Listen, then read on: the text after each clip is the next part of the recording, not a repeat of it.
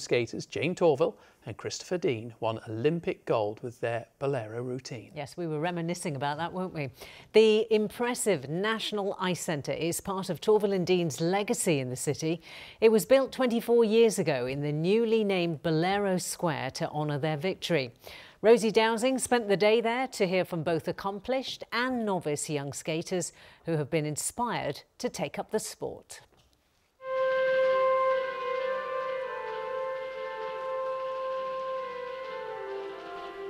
Winning costumes proudly preserved. Iconic threads on display at the home of ice skating in Nottingham pay homage to the local Olympic stars that brought the sport before the eyes of millions 40 years ago. Jayne Torvill and Christopher Dean's long-lasting impact in Nottingham is clear to see at the National Ice Centre, inspiring generations of young skaters like junior champion Alexa.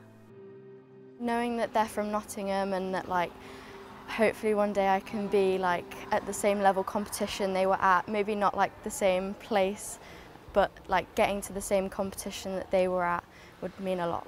Do they inspire you? Yes, definitely. I think with them being on Dancing on Ice as well, it's created a lot of eyes on our sport and I think that's what we needed. Alexa first visited this very rink when she was five. She instantly fell in love with the sport and, 10 years later, she trains here twice a day, six days a week. So do you ever think you'll stop skating?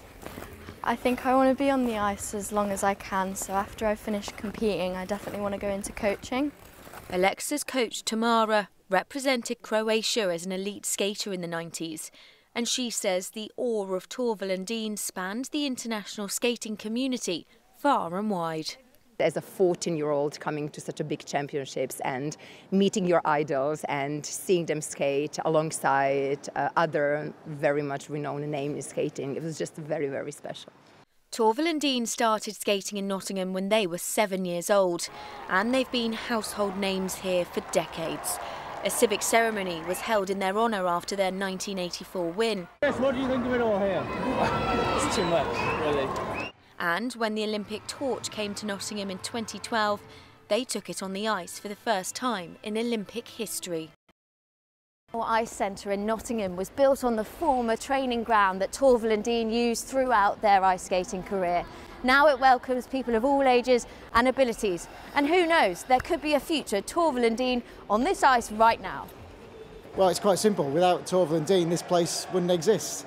And the millions of skaters that we've had through the doors in the last 24 years wouldn't have had the opportunity because the old ice stadium was falling into disrepair and the City Council decided that with the legacy of Torvill and Dean that they had to build a fantastic new ice centre. So what they did was build a state-of-the-art one.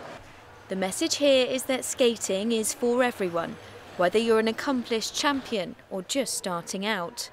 On Friday evenings, Nottinghamshire Police even run a programme for children that have named Bolero Square as a nod to Torvill and Dean's victorious routine. And 40 years after their Olympic success, their sport is still thriving here in Nottingham, with a legacy that inspires youngsters to give it a go and go for gold. Rosie Dowsing, ITV News. I was just thinking that is actually a great example of where the legacy has actually worked, hasn't it? 100%, because mm. that, as I say, the whole place wouldn't be there if it wasn't for the success yeah. they had. Absolutely fantastic. And anyone wondering, yes, all our reporters can ice skate. It's a part of the, yes. part of the interview process. Uh, now, tomorrow we will be in Sarajevo. That's the Royal We. Sam and I will actually be here, where Torvill and Dean won that famous gold medal 40 years ago. And we are expecting a big announcement too. So do tune in for that on our programme